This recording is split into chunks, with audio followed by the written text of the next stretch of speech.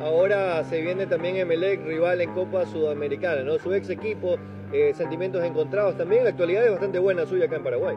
Sí, también. eh, ahí estábamos expectantes cuando, cuando salió Emelec. La verdad que, que para mí son sensaciones que encontraba, como decís vos, porque bueno, este, estuve dos años ahí, me fue muy bien.